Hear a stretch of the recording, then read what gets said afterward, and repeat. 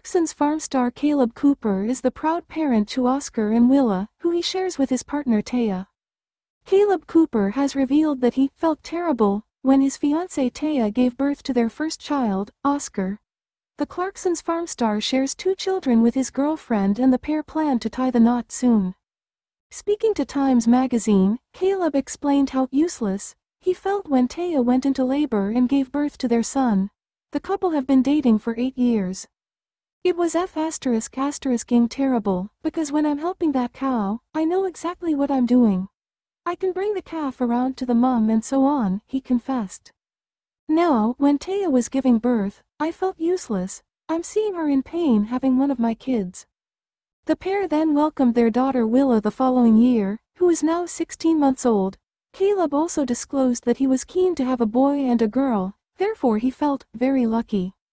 Then when I get older I can go down the pub with them, or out on the tractors, and I can still be energetic, he added.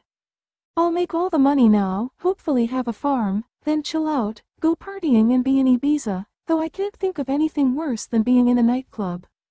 Kaleb shot to fame when he appeared on the Amazon Prime series Clarkson's Farm and has become a firm favorite on the show with fans.